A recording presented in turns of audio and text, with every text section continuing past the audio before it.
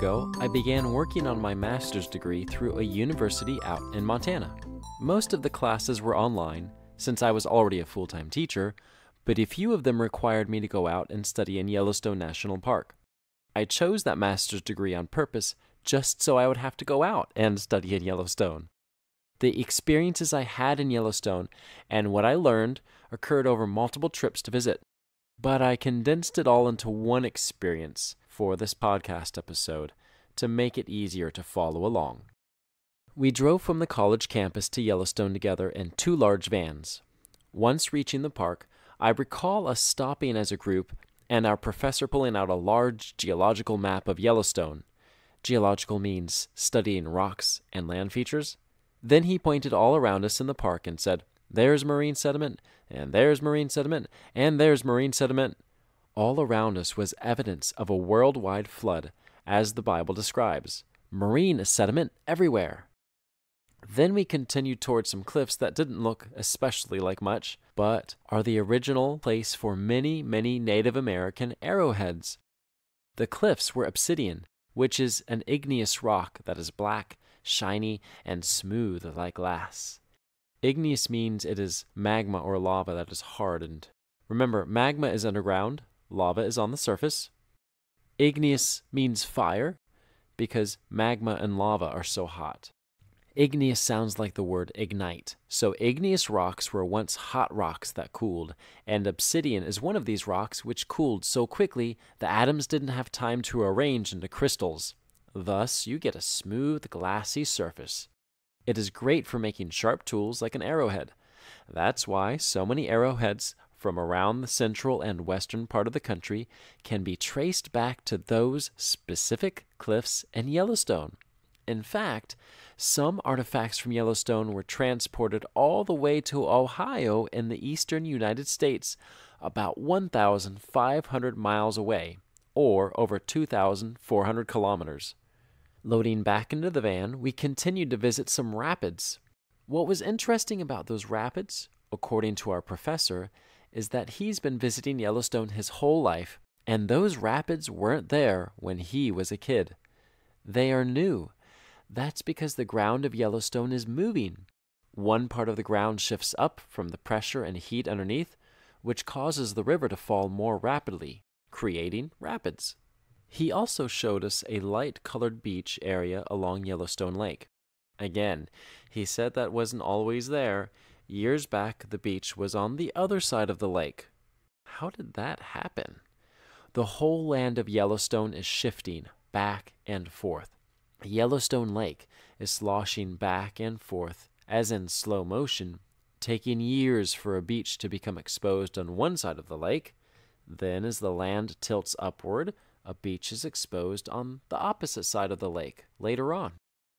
Yellowstone is very much like the lid on a pot of boiling water, tilting this way slightly, then that way, as heat and pressure push their way up from underneath. Finally, we made it to our campsite for the night. As far as I knew, I was the only Christian in the group, and definitely the only creationist in the group. A creationist is someone who believes the world was created by God, as the Bible states. While I didn't tell everyone I was a Christian, I didn't go out of my way to hide my relationship with God either. Someone sounded upset as we set up camp. We found out that their tent had a broken pole and couldn't be set up. It was the main pole of their tent. Then I remembered I had a repair kit with the precise piece he needed. But had I forgotten to bring it on the trip? I talked with God about it quietly as I went back to the backpack to feel for it. God, did I bring it? Will you let it be there? I reached into the backpack and felt the small plastic bag of the repair kit. I had it. As I walked back to the man with the repair kit, words naturally flowed from my lips in appreciation for God helping me remember to pack it. Praise God, I have what you need to fix your tent. Gratefully, he used the small, hollow metal tube which held the broken tent pole in place so it could hold up the tent. This trip was turning out to be an interesting place to talk about God. The next day, we woke up ready for more Yellowstone adventures. We ate, loaded up the van, and made our way to one of the most photographed spots in Yellowstone. Grand Prismatic Spring is beautiful. Often, when people see pictures of the spot, they ask, Where in the world is that? It's a spring with the color of Kool Aid blue water in the middle, which fades into sulfur yellow and sunset orange on the edge. It looks beautiful, but the signs on the boardwalk remind visitors that the water is boiling. I remind myself to be careful, even as I take hundreds of pictures. The whole time, steam is rising from the water because even in the middle of the summer, the water is far hotter than the air temperature. If you ever visit Yellowstone, be sure to walk next to Grand Prismatic Spring very carefully. We drove on close to the lake and saw a large area next to the road that looked like a random little pond next to the lake. It's called Indian Pond. There was an explosion there, our professor said. It was a hydrothermal explosion.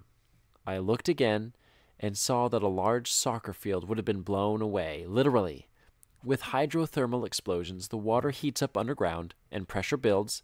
Then the water explodes as steam, hurling dirt and rock out of the area.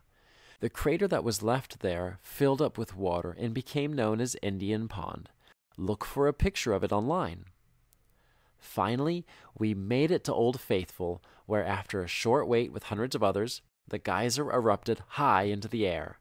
Visiting Old Faithful and seeing it erupt has always felt like one of those things people are supposed to do in the United States, like seeing the Statue of Liberty or driving across the country on a road trip. It was neat to see and experience, so I can say, yes, I've seen Old Faithful and Yellowstone. There were more geysers, mud pots, and travertine terraces to see throughout the day. I took many, many pictures. Tower Falls, Mammoth Hot Springs, Norris Geyser Basin. As we were walking along one of the boardwalks, a girl paced next to me and said, You are a Christian, aren't you? I don't remember much of the conversation, but there was something in the way I talked and walked that showed her I belonged to Jesus, and it made me feel really good. Sometimes, just by the way we act, others might notice that we belong to Jesus, even if we're learning about the geothermal features of Yellowstone. This was just a quick snapshot of what it was like to be in Yellowstone.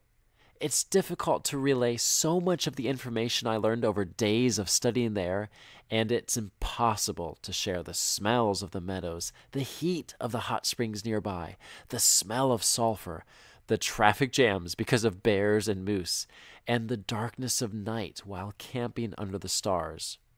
Nonetheless, I hope you enjoyed reliving some experiences with me from Yellowstone.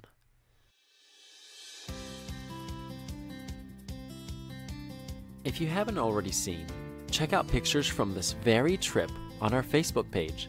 Look for Nature and Science for Kids. If you have any pictures from a trip to Yellowstone, or maybe your parents do, please send one in an email to me and I'll share it on Facebook email them to natureandscienceforkids at gmail.com. Also, I'm so excited to share our new website, moosejawmatt.com.